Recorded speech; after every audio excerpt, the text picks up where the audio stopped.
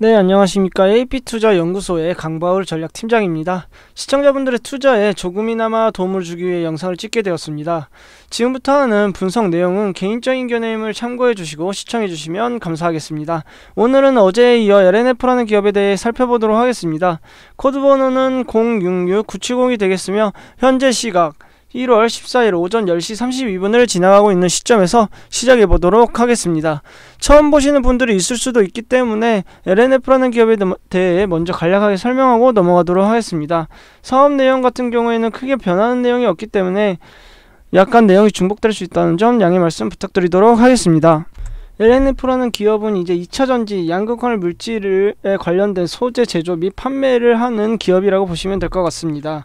어, 어, 양극재 물질이란 이제 입차 전지의 구조를 보시면 이런 식으로 되어 있는데요. 지금 이게 양극재 물질, 여기가 응급재, 응급재 물질, 이게 분리막이라고 하는데요. 이 LNF 같은 기업 같은 경우에는 이 양극재 물질을 생산하고 판매하는 기업이라고 할 수 있겠습니다.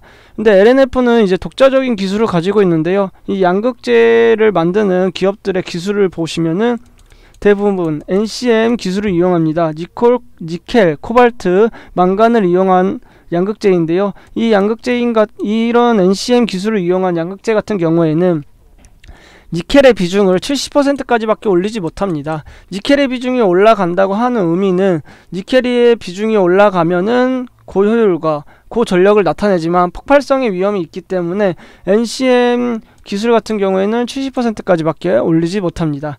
하지만 이제 여기서 LNF는 독자적인 기술을 개발하였는데요. 바로 NCMA라는 기술입니다.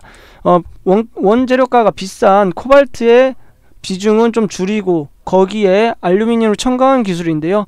이 기술을 사용하게 되면 원가 절약도 되게 되지만은 니켈 비중을 90%가량 상승시킬 수 있, 있습니다. 이런 독자적인 기술을 가지고 있기 때문에 LNF는 다른 타 기업에 비해 경쟁력 있는 기업이라고 할 수 있겠습니다.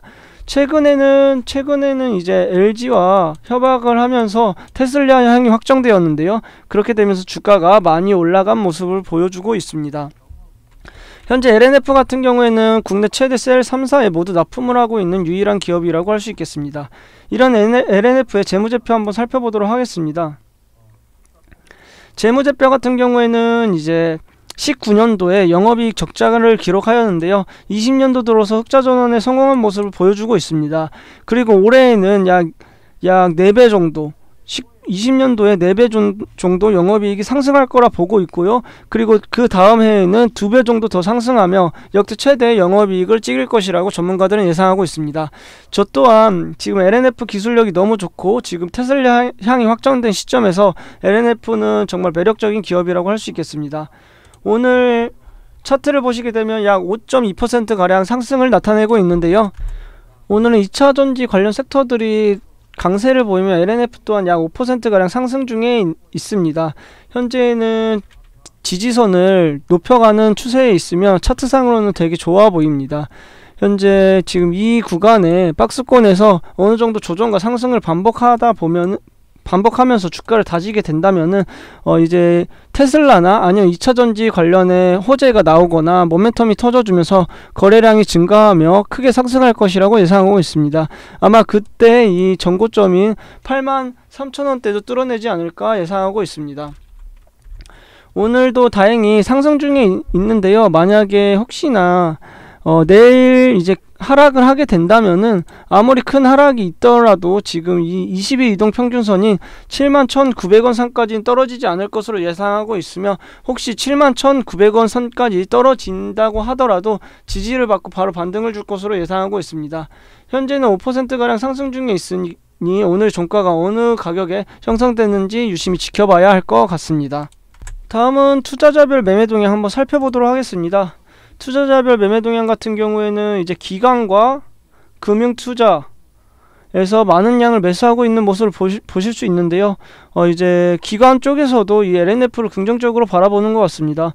저 또한 상승 여력은 충분하다고 보고 있고요. 아직 지금 주가 또한 엄청 많이 상승을 했지만 최근 들어 하지만 아직도 상승 여력은 남아 있다고 보고 있습니다.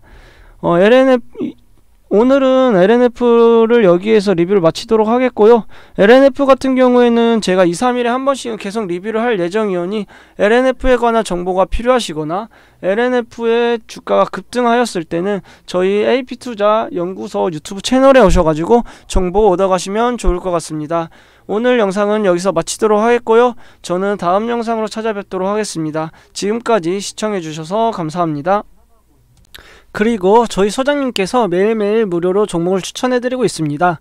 네이버 홈페이지 검색창에 AP 투자연구소 라고 검색하시게 되면은 상단에 AP 투자 연구소 링크가 나오게 됩니다. 링크를 클릭, 클릭하셔서 들어가시게 되면 AP투자 연구소 홈페이지가 나오게 되는데요. 여기서 라이브라고 깜빡거리는 카테고리를 보시면 2021년 무료 추천 종목이라는 메뉴가 보이게 됩니다. 여기 이 메뉴를 클릭하여 들어가시게 되면 저희 소장님께서 매일매일 무료로 종목들을 추천해드리고 있습니다. 저번 주에 추천했던 종목 한번 살펴보도록 하겠습니다. 1월 8일 금요일 무료 추천 종목 중 한번 들어가 보도록 하겠습니다. 들어가게 되면은 이제 오전 7시 39분부터 실시간 리딩을 시작하였으며 어, 미국 증시부터 시황까지 먼저 설명드리고 있습니다. 또한 그 날의 관련 뉴스들 속보 같은 것도 링크로 달아서 올려드리고 있습니다. 그리고 이제 오전 9시부터는 무료 추천 종목에 들어가게 되는데요. 어, 저번 주 금요일에는 인프, 인, 인프라웨어, 그리고 만도, 딜, 디지털 옵틱스가 되겠습니다. 종목을 추천하실 때는 이제 기준 매수 가격과 목표가, 손절가를 제시하게 되는데요. 목표가에 도달했을 때에는 그에 따른 대처를 실시간으로 리딩해드리고 있고 또 하락하는 종목에 대해서도 계속해서 리딩을 해드리고 있습니다. 무료 추천 종목 같은 경우에는 회원가입을 하지 않으셔서 않으셔도 보실 수 있기 때문에 어, 시청자분들 중에 종목들이 필요하신 분들은 언제든지 저희 홈페이지 들어오셔가지고 많은 도움 받아가셨으면 좋겠습니다. 이상으로 오늘 영상은 여기서 마치도록 하겠습니다. 지금까지 시청해주셔서 감사합니다.